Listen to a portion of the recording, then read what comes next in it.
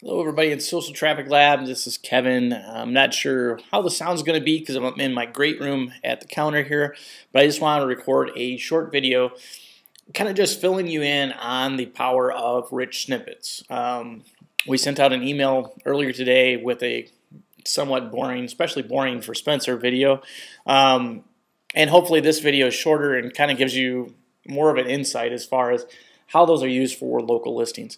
What I'm looking at right now is a listing for Copper Onion Restaurant here in Salt Lake City. Really good restaurant. We really like it. Um, and I just actually noticed tonight that this is an unclaimed Google Places listing. But they have 55 reviews, four stars, um, and then something else here. And what really ties this into the rich snippets is if we go down and look at the reviews, we, we scroll down through these reviews, and you can see where the reviews are coming from. So 54 came from Google itself, 61 are, are from Urban Spoon, and 39 are from Zagat. So the ones that they list up here, the 55 reviews, those are Google reviews, but they are actually linking out to other reviews like from Urban Spoon. Um, if you go over to Urban Spoon, so I clicked on this link and brought it up in another tab, we can see the Copper Onion listing on Urban Spoon. Um, and it has actually they say 103 reviews here. Um, and it has you know the critic reviews the latest tweets the blogger reviews the actual diner reviews. And what's really interesting is now when you take this link this url for uh, the listing on urban spoon and you put that into the webmaster tools for rich snippets. So this is the rich snippets testing tool that the other video showed.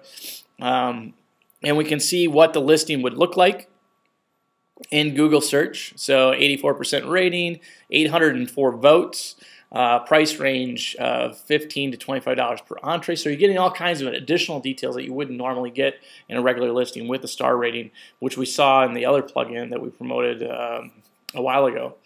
Uh, but you also get all this extra rich snippets data, and this is where Google Places is getting this information from. The information that we saw over here on Google Places, this wasn't entered in by the business owner. This was pulled from other sites using rich snippets. So um, it pulled informa- uh, reservation information from OpenTable. It pulled the menu from SinglePage.com. Um, and it pulled in the reviews from a number of different places. This Diner's Choice Best American Food, Diner's Choice Fit for Foodies, that came from OpenTable. So you can see where the, the different things are coming from. And it's coming from rich snippets data. So that's why rich snippets data is super powerful. Um, so hopefully that fills you in. You can see, you know, you know, go out and, and look at our Urban Spoon or some other uh, local um, listing or restaurant uh, thing, and you can actually look at the um, the microdata, the data from the rich snippets within the the testing tool that Google provides, and you can see all the additional information that you can provide, including map data and this goes, uh, this map data actually gets into the what we talked about, the KML file. So really cool stuff.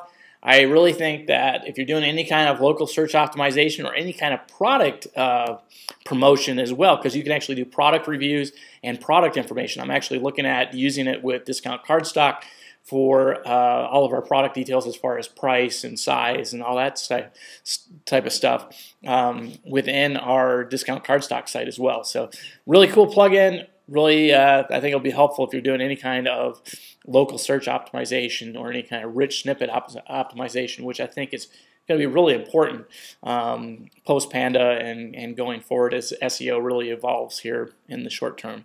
Thanks a lot.